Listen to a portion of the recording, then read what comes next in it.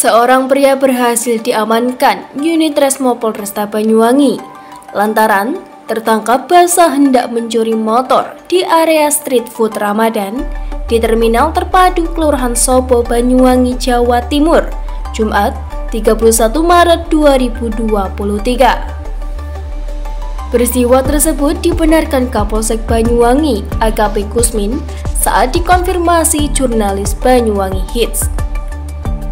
Di tempat terpisah, Kombes Pol Dedi Fori Melewa melalui Kasih Humas Ibtu Agus Winarno menjelaskan kronologi dugaan tindak pidana percobaan pencurian terjadi saat terduga pelaku hendak mencuri sepeda motor milik warga yang berburu takjil di pasar dadakan. Beruntung terduga pelaku langsung diamankan anggota Resmob untuk proses lebih lanjut. Kepolisian Resor Kota Banyuwangi menghimbau warga selalu waspada dan menjaga barang-barang berharga miliknya agar tidak dicuri orang lain, terutama kendaraan roda 2. Tim Liputan Banyuwangi Hits melaporkan.